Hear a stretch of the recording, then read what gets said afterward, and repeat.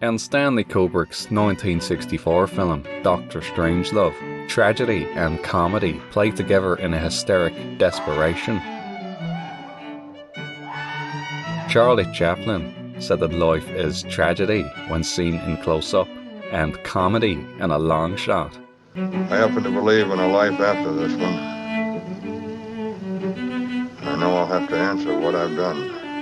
After this extreme close up, his final end is shown in a comedic long shot. The captain's desperate comedy Yeah, Jack, let me take that for you. I'll take that for you, Jack. with the general's tragic dejection I'll try and guess. I'll try and guess what the code is.